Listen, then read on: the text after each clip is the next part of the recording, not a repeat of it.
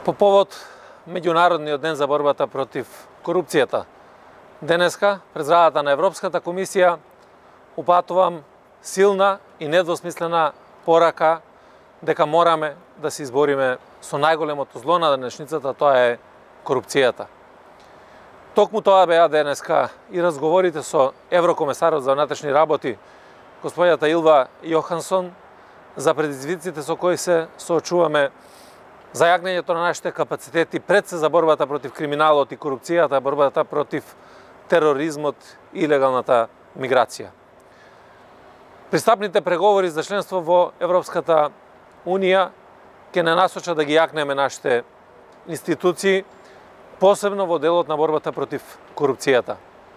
Таа нема да биде ниту брза, нема да биде ниту лесна. Меѓутоа мора да има посветеност, мора да има јасна политичка волја, заради тоа што тоа си го должиме пред се на нас самите и на нашите идни генерации. Должиме да ги јакнеме институциите, да имаме брз и ефикасен одговор за да покажеме и ефикасност во борбата против корупцијата.